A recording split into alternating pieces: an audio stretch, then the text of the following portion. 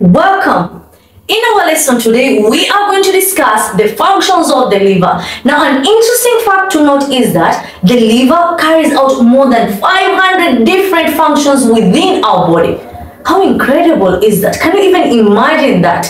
Now, in our lesson today, we are going to discuss five of the main functions of the liver. And these are number one, regulation of blood sugar level, deamination, detoxification, thermoregulation, and lastly, regulation of red blood cells. So stay tuned. Now, the first one, regulation of blood sugar level. So let's break it down. This simply means that the liver plays a role in controlling the amount of sugar present in our blood. Sugar here refers to glucose that is present in our blood.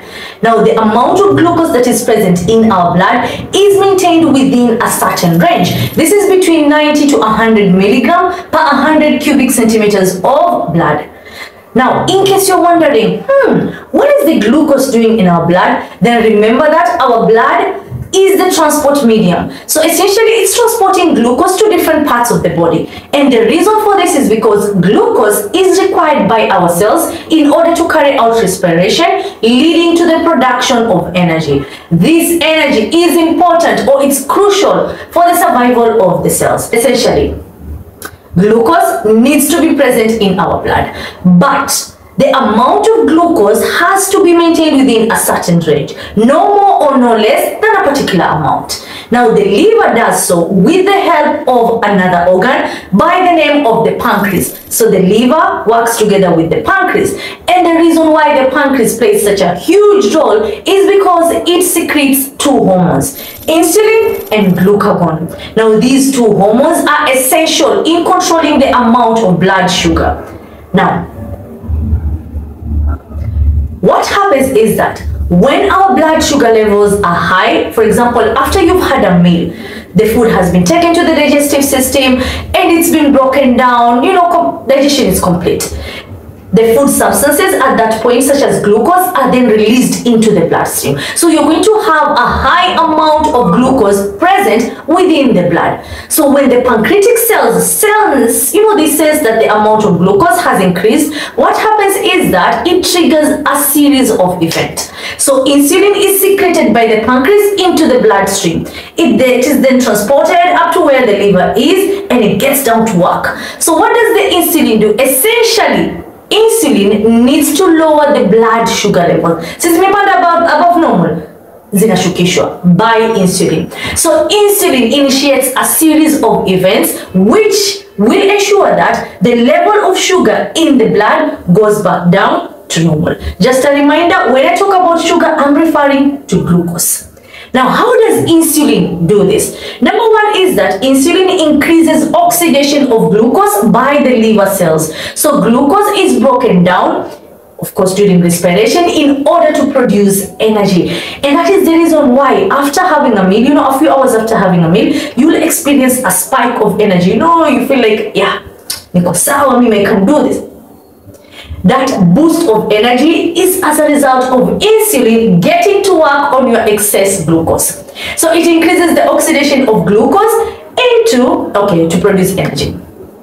So essentially what insulin is doing is that it's removing as much of the excess glucose as possible from the from the bloodstream so that it can go back down to normal. Now insulin also does two activities. It converts the excess glucose into two different forms. Number one is that the excess glucose is converted to glycogen. Now glycogen is then stored in the liver. Now, some of the excess glucose is also converted into fats, which are stored underneath our skin. And boom, after some time, what do you notice? The amount of sugar levels in your body has gone back down to normal, thanks to insulin. Now, there's another hormone as mentioned before, glucagon. Now, guys, I know, I know, it can be confusing, like glycogen, glucagon.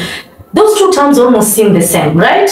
But Glycogen is the storage form of carbohydrates in animals. That simply means as animals, when we have excess carbohydrates in our bodies, we tend to store them in form of glycogen.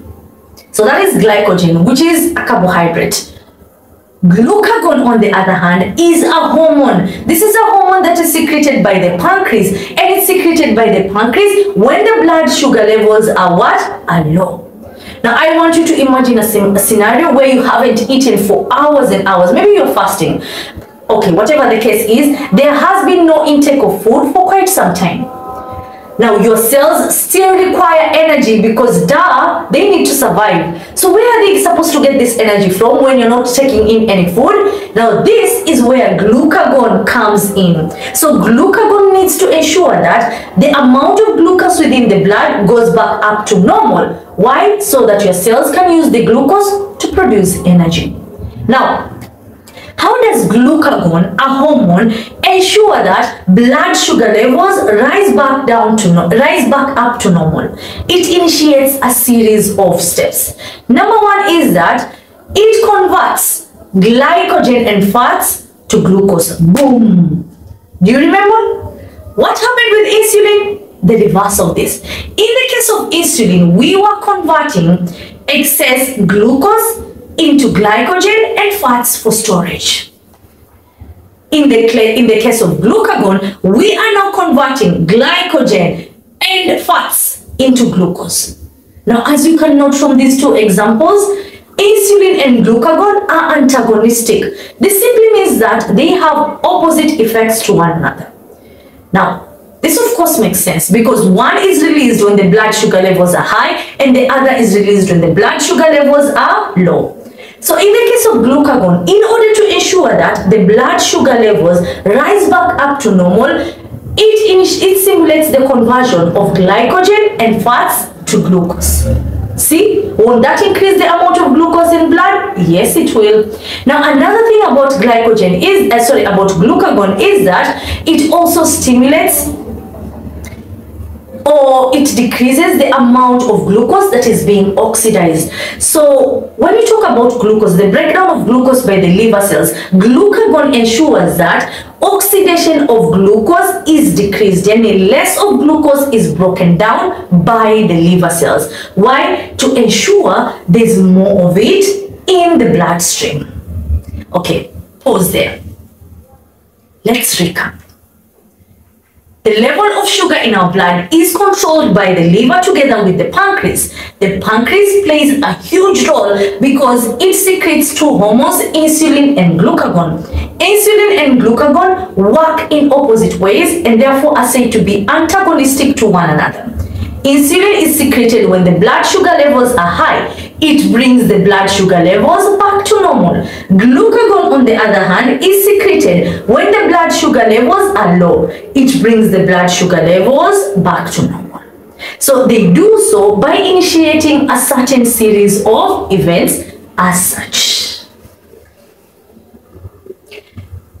That, ladies and gentlemen, is regulation of blood sugar level by the liver.